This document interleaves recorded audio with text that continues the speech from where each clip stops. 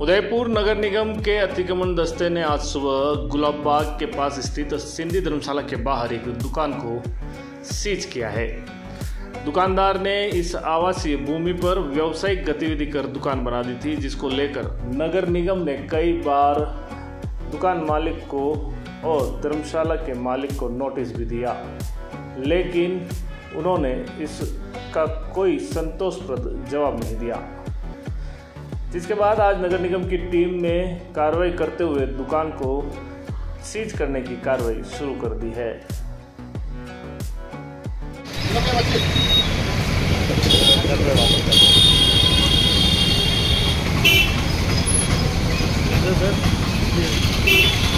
है